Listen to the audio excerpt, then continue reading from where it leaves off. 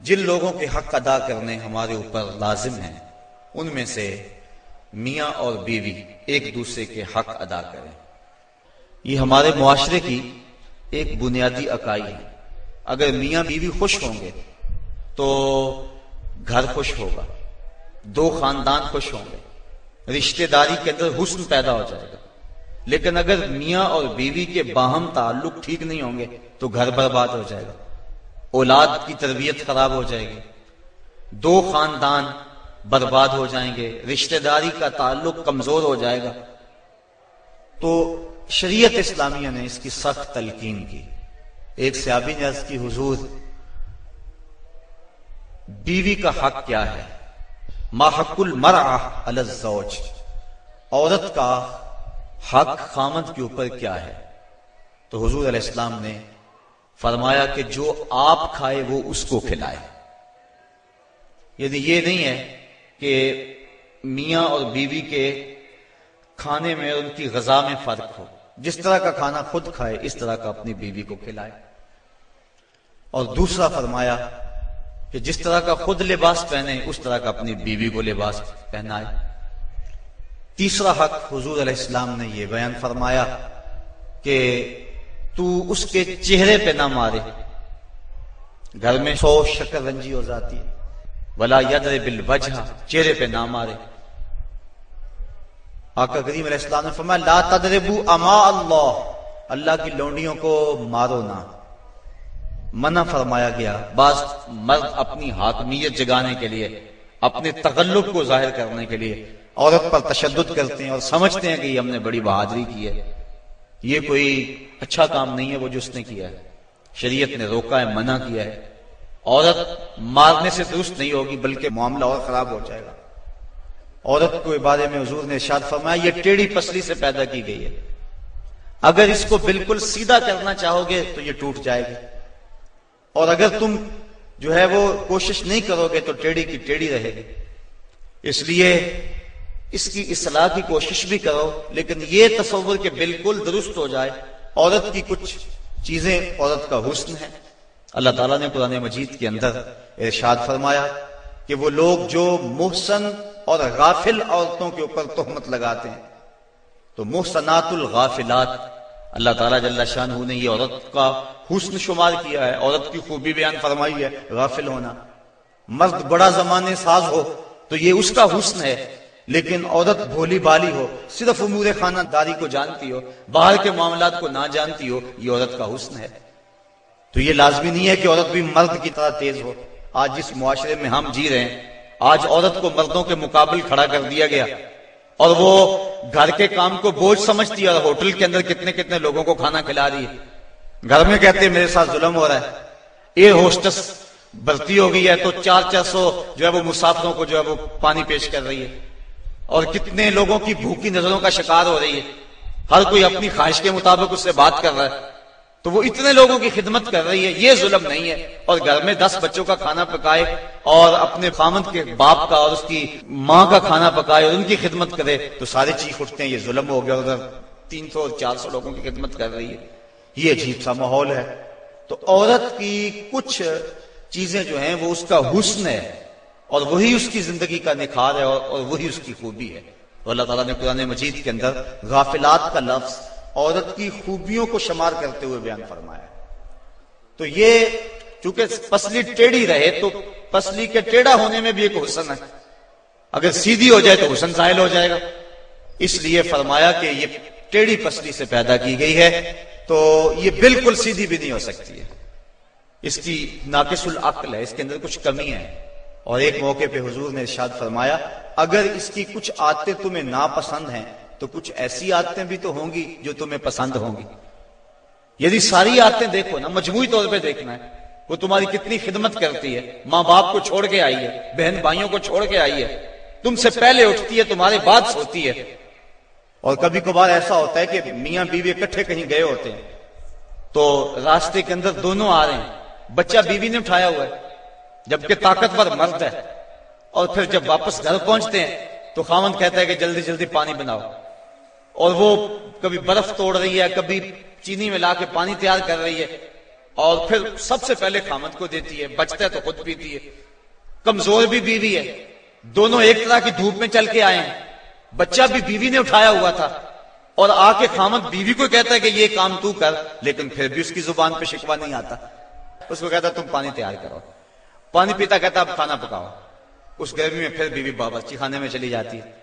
खाना पका के आधे घंटे घंटे के बाद फिर मर्द के सामने रखती है, वो खाता है। खा के फिर कहता, टांगे दबाओ। और शिकवा नहीं करती कि अजीब बात है, तेरे साथ मैं भी उसी तरह थकी हूँ। मैंने बच्चा भी उठाया हुआ था, मैंने फिर पानी तैयार किया, अब खाना सख्त गर्मी में बनाया। ये उसकी अच्छी आदत है। तो फरमाया, अगर तुम उसकी कुछ आदतों को देखकर परेशान होते हो तो कुछ उसकी आदतें ऐसी भी तो होंगी जो तुम्हें पसंद होंगी। तो अगर ये तुम सोच लिया करो तो मियाँ बीवी के अंदर मोहब्बत का रिश्ता मुस्ताकम होगा, कमज़ोर नहीं होगा। बल्कि एक अंग्रेज़ ने लिखा, वो कहता है कि कोई शय भी जो है उस पर कोई ना कोई फ़ायदे ज़रूर होते हैं। वो मिसाल देता है। वो कहता है, जो घड़ी बंद पड़ी है ना, एक दिन में दो मरतबा, वो भी सच बोलती है। मिसाल के तौर पे घड़ी बंद होगी बारह बजे। तो जब दिन के बारह बजे हैं, उस वक्त घड़ी सच बोल रही होती है। रात को जब बारह बजते हैं तो घड़ी सच बोल रही होती है। कहता जो खराब घड़ी है, वो भी दिन में दो मरतबा सच बोलती है। तो अगर किसी शख्स की खराबियाँ तुम्हें नज़र आए तो उसकी कोई खूबी भी ढूंढ लिया करो। मक्खी की तरह नहीं कि सारे बदन को छोड़कर जहाँ जख्म हो, वहाँ ही बैठना होता है। जहाँ खुशबू हो, वहाँ भी तो जाओ। इसलिए फरमाया हजूर इस्लाम ने, और जरा गौर तो कीजिए खानदानों को जोड़ने का और मियाँ बीवी के अंदर बाहम मोहब्बत पैदा करने का यह कितना हिकमत भरा जुमला है। ये जवामुल कलम से है ये जुमला। और कितना हुस्न है इस जुमले के अंदर। फरमाया, अगर उसकी कोई बात तुम्हें नापसंद है तो कोई उसकी ऐसी बात भी तो होगी जो तुम्हें पसंद है। और तुम उसको देख लो। बल्कि सूफिया फरमाते हैं, अगर खूबी देखने का शौक हो तो किसी और में देखो। और बुराई देखने का शौक आए तो अपने अंदर देखो।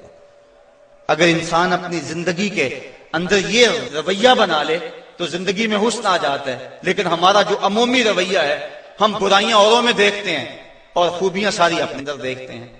वो क्या किसी ने कहा था कि किसी की तरफ़ उंगली उठाने वाला जरा गौर तो करे कि बाकी उंगलियाँ उसकी अपनी तरफ़ उठ रही हैं।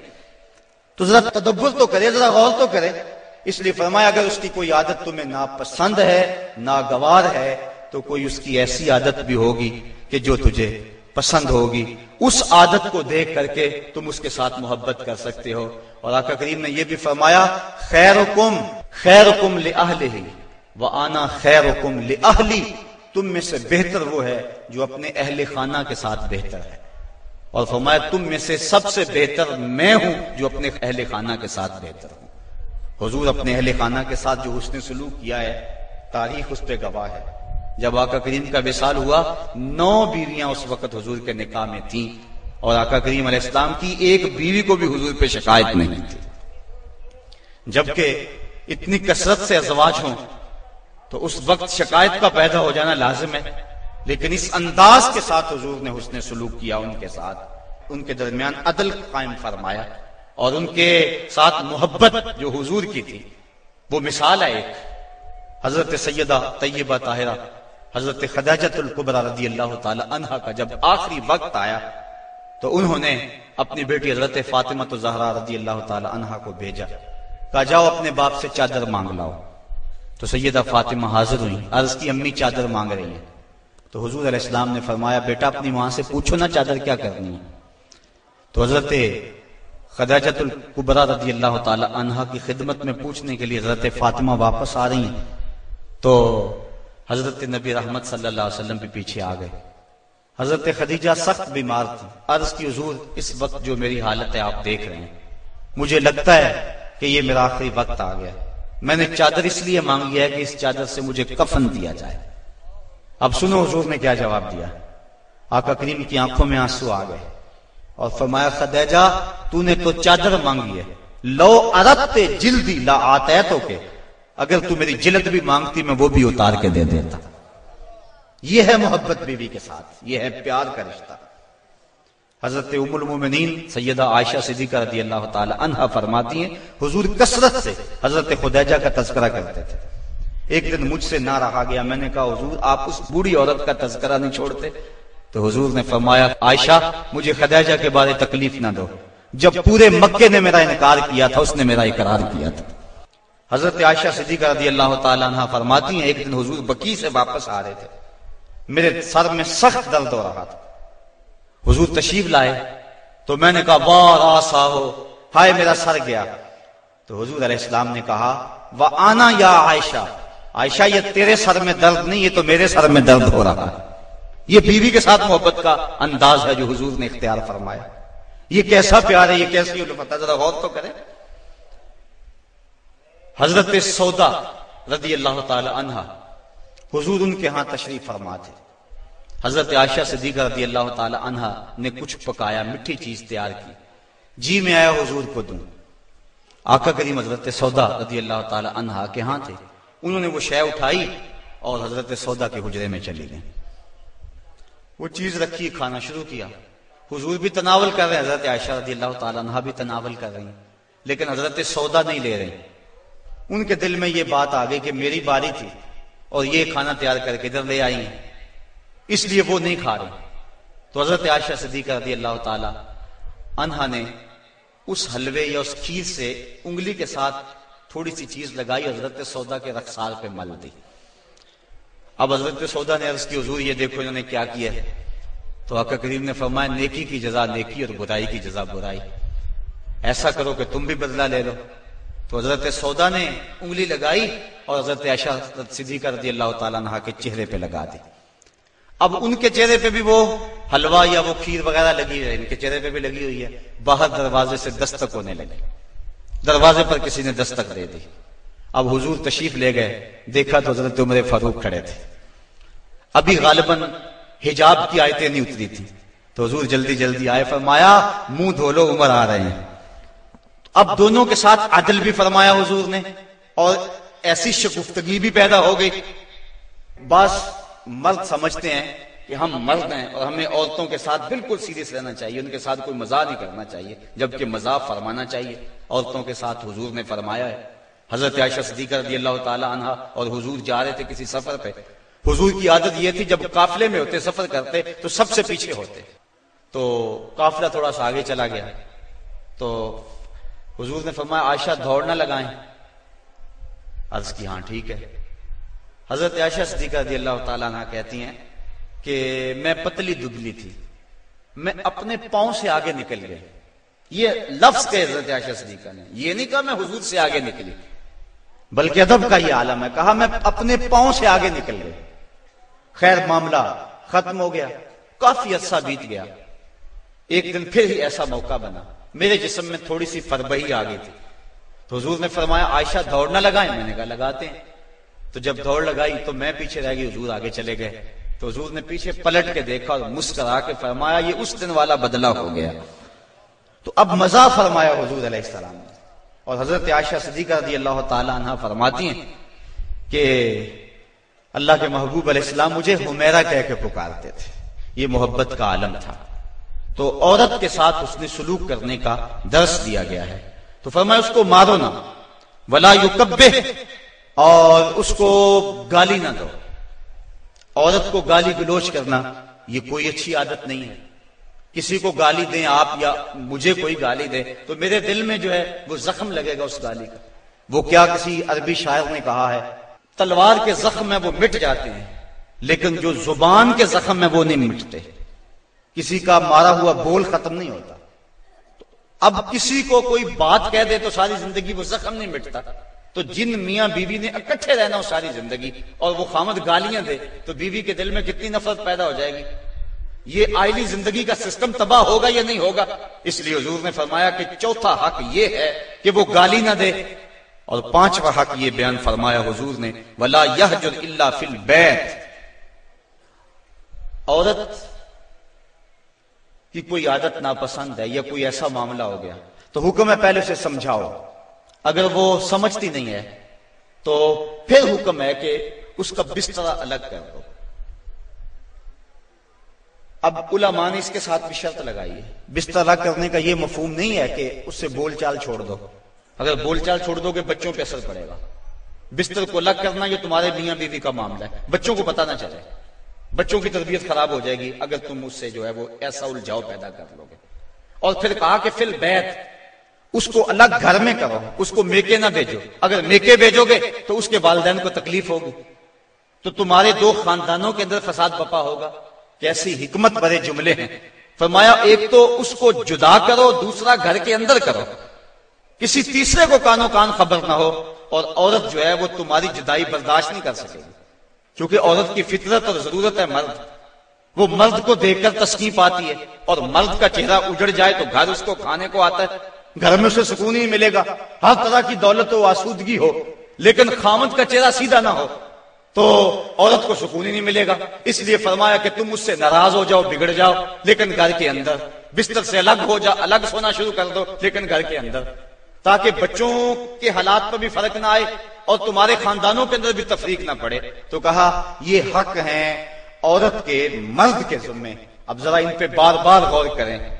तो मैं जो खुद खाते हो, उन्हें खिलाओ। जो खुद पहनते हो, उन्हें पहनाओ। और चेहरे पर ना मारो। और फरमाया, उनके बिस्तर अलग कर दो और उनको गाली ना दो। ये हुजूर इस्लाम ने औरत के हक बयान फरमाए। और फिर हुजूर नबी रहमत सल्लल्लाहु अलैहि वसल्लम ने ये भी इरशाद फरमाया अहसनुहुम खुलुकन व खयारुकुम फरमाया, तुम में से कामिल ईमान उस शख्स का है, जिसके अखलाक अच्छे हैं, खुल्क अच्छा है, जिसका मुँह मिठा है, जिसकी बोली ठीक है।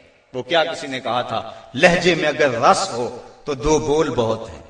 इंसान को रहती है मोहब्बत की ज़ुबान याद। इंसान को मोहब्बत की बोली याद रहती है। तो कहा कि जिसका खुल्क अच्छा और दूसरा फरमाया जो अपने अहले खाना के साथ ठीक है। सारे जमाने से ठीक है घर वालों से ठीक नहीं है।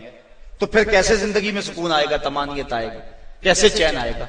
तो तुम में से बेहतर वो है जो अपने घर वालों के साथ बेहतर है। और अभी रिवायत मैंने आपके सामने रखी, जिसमें हजूर ने फरमाया कि मैं तुम में से सबसे ज़्यादा अपने घर वालों के साथ उसने सलूक करने वाला हूँ और अच्छाई करने वाला हूँ। तो ये हुक्म दिया गया कि वो अच्छे अंदाज के साथ, अपनी बीवी के साथ उसने सलूक करे, उसको जो है वो मकरू ना जाने और उसको बुरा ना कहे, उसको गाली ना दे। दूसरी तरफ़ औरत को कहा अलजालो कबूना अलनिसा मर्द औरतों पर कवाम है, हाकिम है, अमीर है। ये इसलिए फरमाया गया कि अगर दोनों राय दें और शरीयत फैसला ना दे कि किसकी राय मुकदम होगी, राय में इख्तलाफ भी हो सकता है तो फिर आयली सिस्टम फिर भी तबाह होगा। औरत राय दे मर्द उसको कबूल करे, उसकी राय की परवाही ना करे, ये मर्द के लिए मुनासिब नहीं है।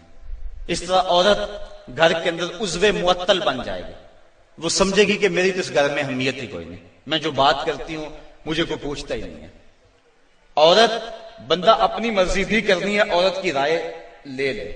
जब किसी की राय लेते हो आप किसी मामले में तो उसकी इज़्ज़त अफजाई होती है। तो इसलिए औरत के साथ मुशावरत करें, उसकी बात को अहमियत दें। अगर उसकी बात काबिल कबूल नहीं है तो अच्छे अंदाज उसको समझाएँ। लेकिन फ़र्ज़ करो, अगर राय मुख्तलिफ़ होगी तो तो राय किसकी को तरजीह होगी? मर्द की राय को तरजीह होगी। जिस तरह के मैंने हुकूक के वालदेन को नुमान से अर्ज़ किया था कि माँ कुछ और कहती है, बाप कुछ और कहता है। अब किसकी बात मानेंगे? माँ की या बाप की? माँ का दर्जा बहुत सारा है। लेकिन माँ कहती है, ये करो, बाप कहता है, ये करो। तो ओला माँ ने जुजिया बयान फरमाया कि खिदमत में माँ मुकदम है, तामील हुक्म में बाप मुकदम है। पहले तो माँ बाप को चाहिए, औलाद को किसी मुशक्कत में न डालें, किसी मुसीबत में न डालें। लेकिन अगर ऐसा कभी हो जाए तो खिदमत में माँ को तरजीह दी। जब बाहर से आए तो पहले माँ की टांगे दबाएँ, उसके पाँव दबाएँ। फिर उसके बाद बाप के। खिदमत में माँ को तरजीह दें। लेकिन जब हुक्म की तामील की बात आए, फिर बाप को तरजीह दें। क्योंकि कवाम बाप है, घर का हाकिम और अमीर बाप है। अगर बाप की बात नहीं मानी जाएगी तो फिर घर में फसाद बपा हो जाएगा। इसी तरह जोजैन में से खामद की बात को तरजीह अगर दी जाएगी तो यही मुआशरे का भी हुस्न है और खानदान के अंदर भी इसी में इज़्ज़त है। अगर खामद कुछ और कहता है, बीवी कुछ और कहती है, बात बीवी की मान ली जाए तो घर में तो मुसीबत बन गई। खामद को कोसने देंगी, उसकी बहनें भी, उसके भाई भी, उसकी माँ भी कहेगी, बाप भी कहेगी बीवी के पीछे लग गया। लेकिन अगर बीवी खामद के पीछे लग जाए तो ये बीवी के लिए हुस्न है। मर्द का बीवी की अतात करना ये मर्द के लिए हुस्न नहीं है, लेकिन बीवी का मर्द के पीछे लग जाना और उसकी बात को मान लेना, ये जो है वो हुस्न है बीवी के लिए और ये उसकी अतात के जुमरे में आता है। तो मर्द हाकिम बनाया गया है, लेकिन हाकिम का ये मतलब भी मर्द ना समझे कि वो जब चाहे औरत को मारना शुरू कर दे, उसको गुलाम समझे और उसकी अहमियत न समझे, बल्कि औरत को बराबर मुशावरत में शरीक रखे। जिस तरह मर्द औरत पे नाराज़ हो जाता है, औरत को भी हक है कि वो मर्द पे नाराज़ हो जाए किसी मामले में। और जिस तरह औरत मर्द को मनाती है, मर्द भी अपनी बीवी को मना सकता है, राज़ी कर सकता है। इसमें कोई हरज नहीं है, चूँकि घर में शकरंजी हो सकती है। बुखारी शरीफ में रिवायत मौजूद है। हुजूर नबी रहमत सल्लल्लाहु अलैहि वसल्लम ने इरशाद फरमाया, आयशा, जब तुम नाराज़ होते हो, मुझे पता चल जाता है। अर्ज़ की हुजूर, कैसे? फरमाया, जब तुम राज़ी होती हो उस वक्त कोई बात हो तो कसम उठाती तो कहती हो रब मोहम्मद, मुझे मोहम्मद के रब की कसम। और जब तुम नाराज़ होती हो और कोई बात हो तो कसम उठाती हो तो कहती हो व रब इब्राहिम, मुझे इब्राहिम के रब की कसम है। तो मुझे पता चल जाता है कि अब तुम नाराज़ हो और अब तुम राज़ी हो। तो जब हज़रत आयशा सदीका दी अल्लाह तहा ने ये बात सुनी तो कहा, मा अहजुरो इल्ला इस्मा का हुजूर, मैं सिर्फ़ आपका नाम ही छोड़ती हूँ, दिल में तो आप ही होते हैं। दिल में तो आप ही के डेरे हैं और आप ही के बस गए। तो ये इस्लाम ने हमें कैसा रोशन रास्ता दिया और हजूर की सीरत और हजूर का अमल हमारे सामने। तो मियाँ बीवी के अंदर वहाँ शक्कर रंजी हो सकती है। तो इसके अंदर जो है, एक फरीक नाराज़ हो गया तो दूसरा राज़ी कर ले, दूसरा नाराज़ हो गया तो पहला राज़ी कर ले। किस कदर घर में हुसन आ जाएगा, जब घर हसीन होगा तो सारा मुआशरा हसीन हो जाएगा। लेकिन अगर ये जो बुनियादी इकाई है, इसमें हुसन ना हुआ तो बाकी हुसन कैसे हो सकता है? तो हाकिम है मर्द। और जिस तरह औरत के कुछ हकूक हैं, मर्द के भी कुछ हकूक हैं। हजूर सलाम ने इरशाद फरमाया, ला यहिल्लो लिल मराहत अन तसूमा व जौजुहा शाहिदुन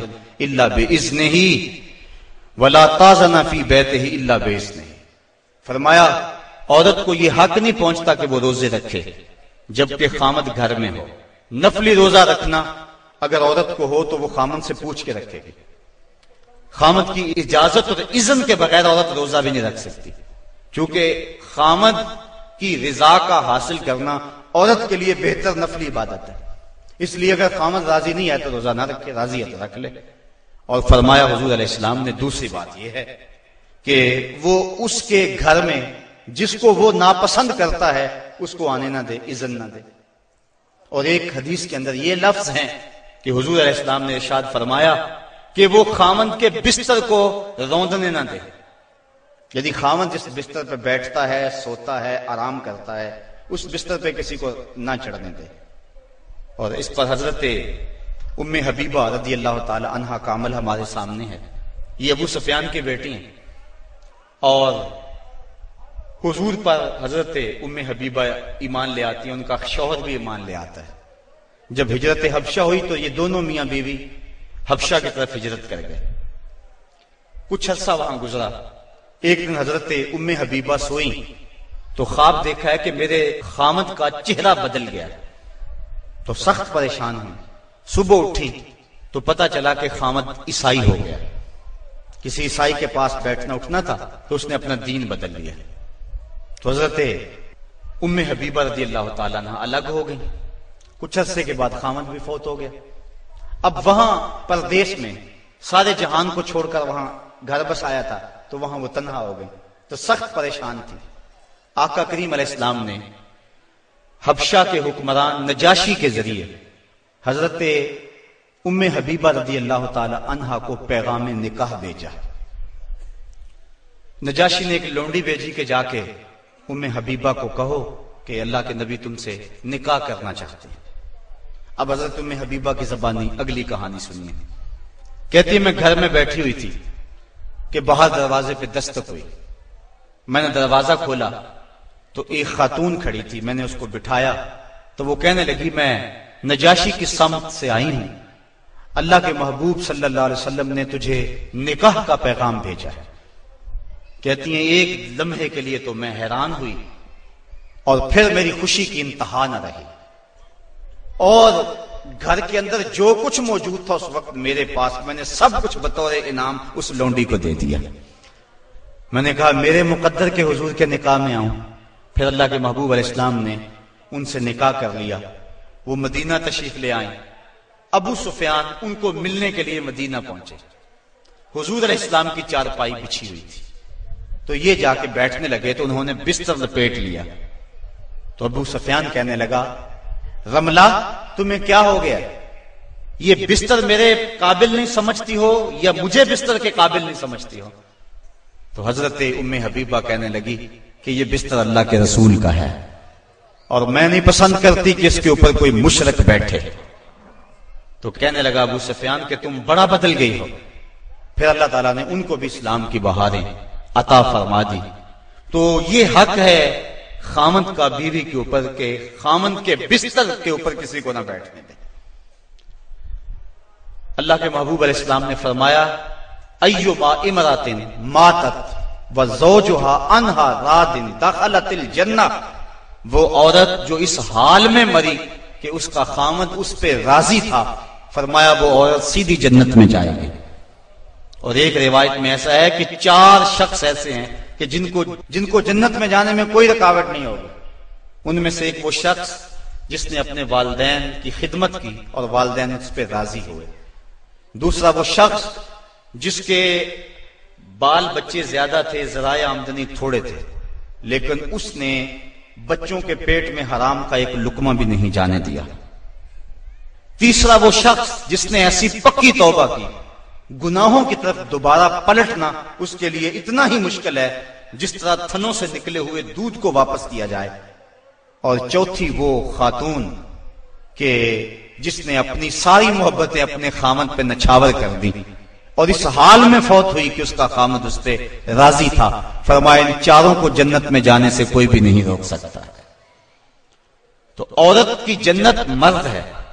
अगर वो मर्द को राज़ी कर देगी तो जन्नत की राहों की मुसाफिर है।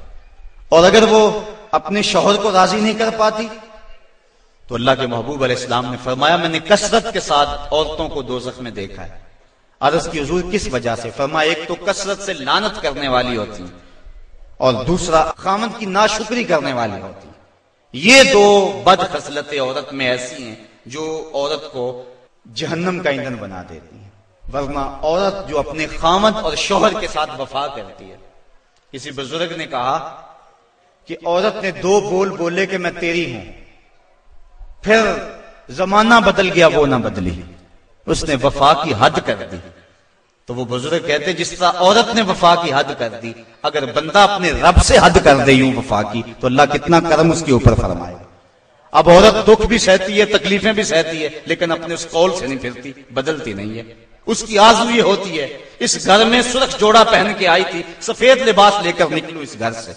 ये उसकी आजू होती है और किसी औरत की ये खुशकिस्मती है। तो औरत अगर अपने खामन को राज़ी रखती है तो वो जन्नत की मुसाफिरा है। लेकिन अगर अपने खामन को नाराज़ कर देती है तो वो जन्नत की खुशबू भी नहीं पाएगी। इस हाल में मरे कि उसका शौहर उससे राज़ी हो जाए। अल्लाह अकबर। अल्लाह के महबूब सलाम ने मर्दों को औरतों के साथ और औरतों को मर्दों के साथ हुसन सलूक करने की तलकीन इरशाद फरमाई। और आका करीम ने जो आखिरी वसीयत अपनी उम्मत को की, उसके बाद हजूर इस्लाम का विशाल हो गया। उसके बाद कोई वसीयत नहीं है हजूर की ज़ुबान से जो निकली हो। फरमाया, लोगों, में तुम्हें दो चीज़ों की वसीयत करता हूँ। एक असलात असलात नमाज़ नमाज़, यदि नमाज़ को न छोड़ना।